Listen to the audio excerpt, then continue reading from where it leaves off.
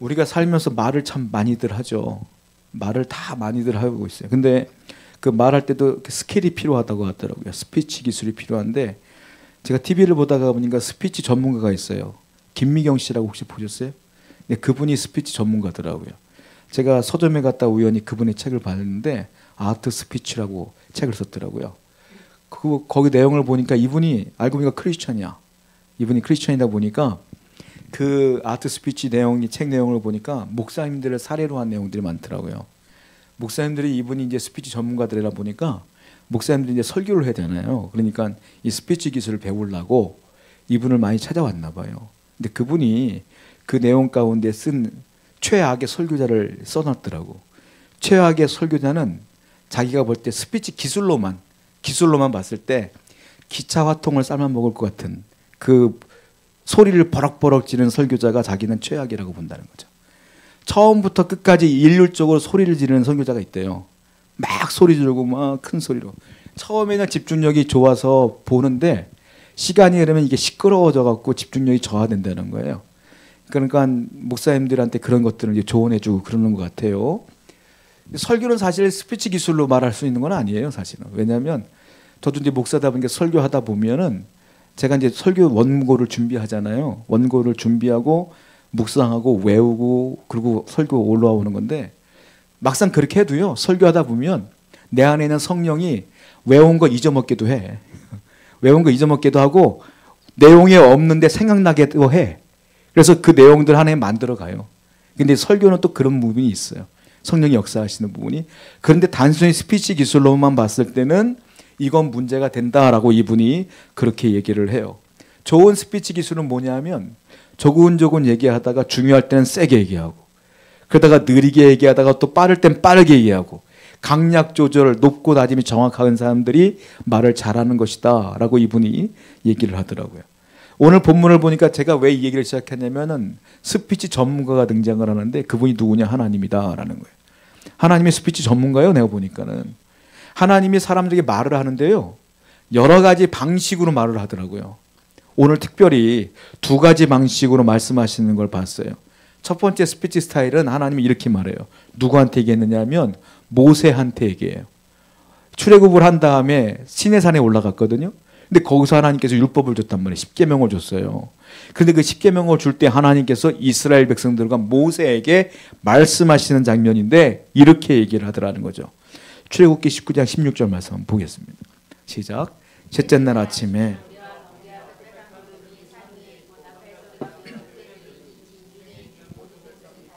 어떻게 얘기해요? 우레 번개가 막 쳐요. 천둥이 쳐요. 막 천둥 번개가 시내 산에서 막 치는 거야. 백성들은 밑에 있고. 여러분 생각해봐요. 산에 천둥과 번개가 막 치는데 올라가고 싶겠어요? 얼마나 무섭겠습니까? 그런데 거기다가요 구름이 오는데 구름이 듬성듬성 있는 게 아니라 빽빽하게 산을 막 자욱하게 싸우고 있는 거예요. 빽빽하게 구름이 있는데 그 위에서 번개가 번쩍번쩍 하는 게 보이고 소리가 막 천둥 소리가 들려요. 거기다가 그것으로 끝나는 게 아니라 뭐라고 쓰였냐면 나팔 소리까지 들려 산에서.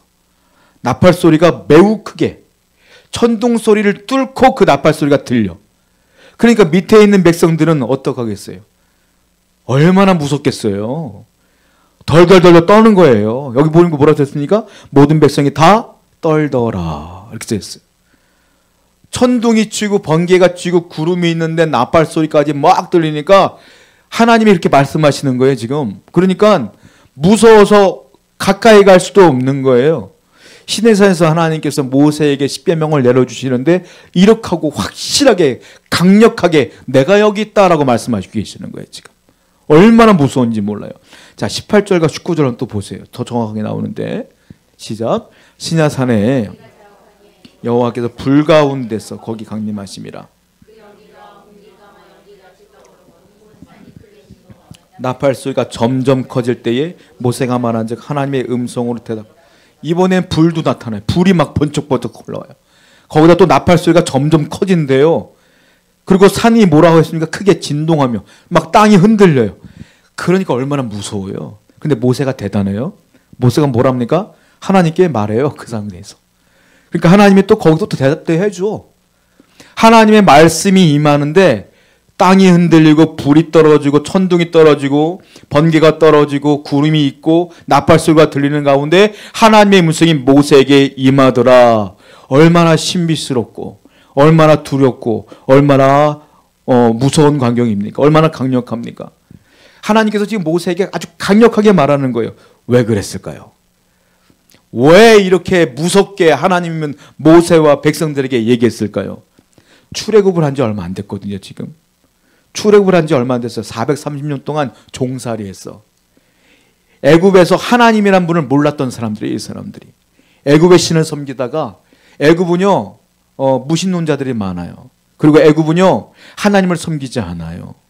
하나님은 절대로 거기에 신 중에 속해 있지도 않아. 우상이 만연한 곳이에요. 거기서 430년을 살았어. 그런데 여호와라는 하나님께서 그들을 이끌고 모세를 통해 나왔어. 사막을 건넜어요. 산에 와서 이제 율법을 주시는 거예요. 말씀을 주시는데 하나님께서 매가리 없는 목소리로 내가 하나님인데 이거 지켜. 이렇게 하면 지키겠냐고 그 사람들이. 하나님 이렇게 무섭게 해야 덜덜 떨면서 진짜 하나님이 있구나라고 생각하지. 그래서 하나님 무섭게 얘기하는 거예요. 강하게 얘기하는 거예요. 그래야 알아들으니까. 하나님은 기술이 대단하셔요. 상황에 따라, 대상에 따라 말씀이 다 달라. 아주 강력하게 확실하게 얘기해요. 자, 그런데요. 이번에 두 번째 말씀하시는데 누구한테 얘기하냐면 이번에는 엘리야에게 말하는데 장소는 똑같아요. 모세에게는 시내산, 엘리야에게는 호렙산. 호렙산이 시내산이에요. 똑같은 산이에요. 명칭이 다른 뿐이야. 자, 그 호렙산에서 말씀하시는데 어떤 거냐면 엘리야가 열왕기상 18장에 바알 선지자하고 아세라 선지자 도합 850명하고 엘리야 혼자고 싸움을 벌였어요. 니네 신이 진짜냐? 우리 신이 진짜냐? 재단 쌓아놓고 아시죠? 그때 하나님만이 그 재단을 다 불살로 엎고 전부 다 850명을 다 도륙했단 말이에요. 죽였어요. 그 사건이 18장에 나와요. 그런데 이세벨이 바알 선지자, 아세라 선지자 그 위에 리더가 이세벨이었거든. 그 왕비 이세벨이 엘리야 죽인다. 해가지고 엘리야 갑자기 무서워. 도망가요. 어디까지? 부엘세바까지. 북쪽 이스라엘에서 사마리아에서 최남단 부엘세바까지 도망가. 근데 그것도 불안해. 어떻게 하냐면 종은 놔두고 하루 길을 유대 광야로 더 들어가. 하루 길을. 그리고 더 이상 갈 수가 없어. 이 노인네가 힘이 없으니까. 할아버지거든요. 갈 데가 없어. 그러니까 로뎀나무, 예전에 내가 로뎀나무 보여드렸죠. 어떻게 생겼는지. 거기에 머리만 집어넣고 죽겠다고 그러는 거예요. 나 죽여달라고. 그 장면이 나와요. 자, 19장 4절 볼까요? 열왕기상. 읽어봅니다. 시작. 자기 자신은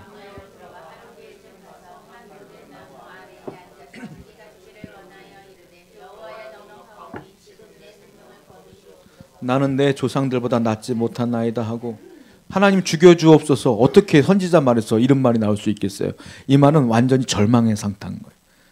이 엘리야가 완전히 절망한 상태, 참담한 기도를 하고 있어요. 나 이제 할 수 있는 게 없을 것 같습니다. 근데 하나님이 어떡합니까? 야, 너 엘리야 아니냐? 엘리야가 이럴 수 있어? 선지자가 이럴 수 있어? 라고 책막 한마디도 안 해요, 우리 하나님. 지친 그 엘리야에게 조용히 천사를 통하여 갓 구운 숯불에 구운 떡을 딱 갖다 놓고요. 목마를까봐 물을 갖다 놓고 먹어라. 엘리야가요 잠자다 일어나니까 냄새 나니까 뭔가 떡이 있네. 떡을 먹어. 우리 같으면 어 누가 줬어 할 텐데 떡을 조용히 자, 당연하듯이 먹어. 먹어. 먹고 물도 먹고 또 자요. 참 엘리야도 대단해. 또 자. 그리고서 또 먹고 일어나서 힘이 딱 나오니까 그제서야 하나님 말씀 듣고 호렙산으로 40주 40야를 걸어서 올라가요. 여러분 이걸 아셔야 돼요. 우리가 일하다 보면 지칠 때도 있겠죠. 살다 보면은 하나님 원망할 때도 있을 거예요. 솔직히. 근데 하나님께서는요, 원망한다고 답을 주는 것 같지는 않아. 하나님께서는 그 사람이 얼마나 힘든지 먼저 아시는 것 같아. 하나님 위로하시더라고요. 여러분 어렵고 힘들 때마다 하나님 위로를 받으셔야 돼요. 하나님께서 여러분들 위로하시길 원합니다. 엘리야가 위로를 받아요. 그리고 40주 40야를 가려서 호렙산으로 갑니다. 볼게요. 어, 19장 11절 12절 한번 읽어보겠습니다. 시작. 여호와께서 이르시되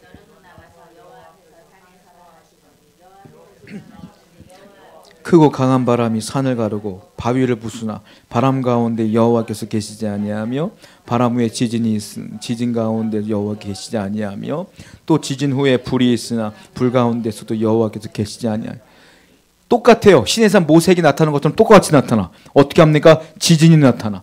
너 이 앞에 딱 서. 해놓고선 지진이 뭐 벌어져. 엘리야가 얼마나 놀랬겠어. 땅이 흔들려요. 근데 그 앞에 강한 바람이 불어. 태풍과 같은 바람이 샥 불어. 내가 날아갈 정도로 엄청난 바람이 불어. 그리고 산을 막 가르고 바위가 부서져 바람 때문에. 엄청난 바람인 거예요. 엘리야가 얼마나 무서웠겠어요. 그런데 거기에 여호와께서 뭐라고 하셨습니까? 계시지 아니하며.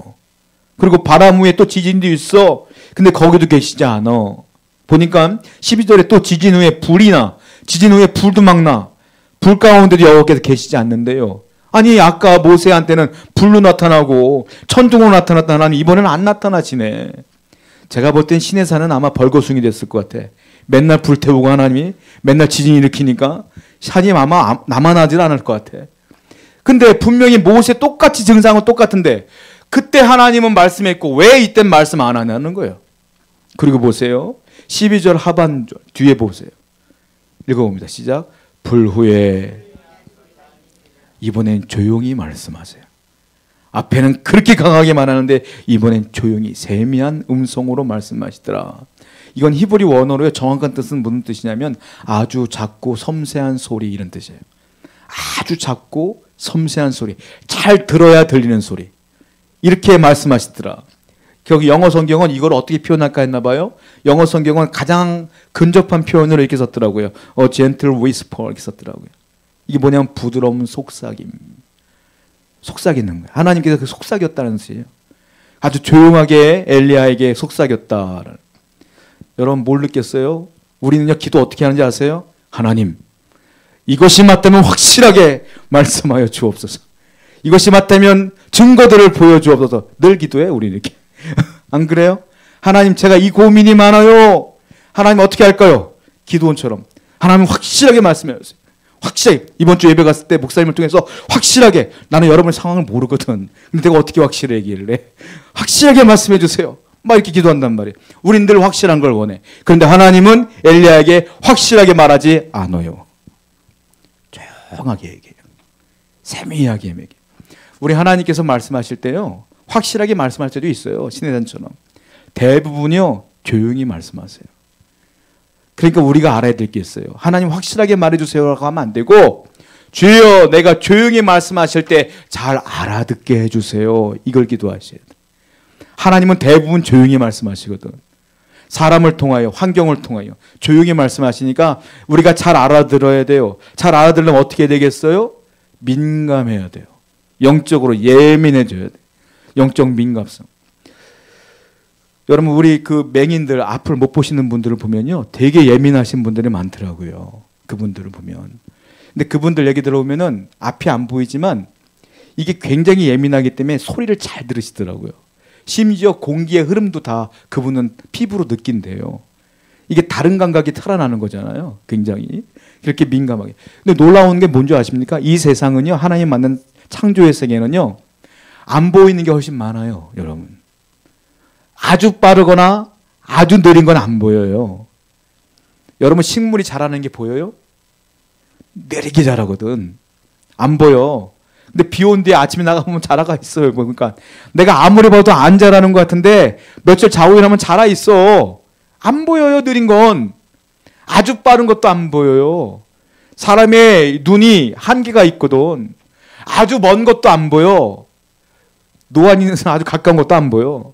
그 멀거나 가깝거나 빠르거나 느린 거나 안 보여. 근데 거의다가 빠르거나 느린 게 더 많단 말이에요. 그러니까 우리가 보이는 건 믿을 수 없어요. 제가 우리 딸들하고 길거리 다니다 보면은 갑자기 큰 딸이 이게 귀가 좀 예민하거든요. 노래 음악이 좀 예민해요. 얘 가다가 어 무슨 노래 나오네 그래요. 나는 안 들리거든요. 막 무슨 노래 가 나온대 얘는 우리 사모님도 경험했어. 우린 모르겠어요. 아무리 봐도 노래가 안 들리는데 가만히 들으면 뭐 노래가 있긴 있는 것 같아. 근데 난 음을 모르겠어. 근데 얘는 그 음을 다 알아듣더라고요. 그 나중에 보니까 청소년들이 들을 수 있는 주파수 영역이 있대요. 어른들은 못 듣는 영역이 있대요. 어린애들만 듣는 영역이 따로 있대. 그러니까 어른들이 아무리 귀를 기울여도 못 알아들어. 그래서 그런 영역이 있더라고요. 주파수가 있는데 가청 주파수 영역이 있어요. 우리가 들을 수 있는데 들을 수 없는 건 못 듣는 거예요. 그렇다고 없는 게 아니야. 있는데 못 듣는 거지. 민감하지가 못하니까 못 듣는 거예요. 그래서 우리가 그래서 우리는 예민해져야 된다는 거예요. 하나의 음성을 들으려면 예민해지는 방법은 딱 하나뿐이 없어요. 뭔지 아십니까? 매일 기도하는 거예요. 매일 기도하셔야 돼. 이틀 이틀에 한 번 안 돼. 3일에 한 번 안 돼. 매일 기도하셔야 돼. 왜냐면 제가 실험해 봐서 알아요. 제가 일주일 동안에 매일 기도하면요. 하나님께 굉장히 예민해지는 걸 내가 느껴요. 근데 바쁜 일에서 이틀에 한 번씩 기도하잖아요. 예민해짐이 금방 둔해져요. 저는 그때 깨달았어요. 매일 기도해야 성도는 예민하다. 여러분 어떤 일이 있어도 매일 기도하세요. 매일. 그래야 민감하고 그래야 하나님 말씀이 들려요. 하나님 말씀이 안 들리는 건 하나님 책임이 아니에요. 내 책임이에요. 하나님은 늘 말씀하시는 분이기 때문에 그래요. 오늘도 결단하셔서 내일부터 매일매일 기도하시는 여러분 되길 축원드립니다. 기도하겠습니다.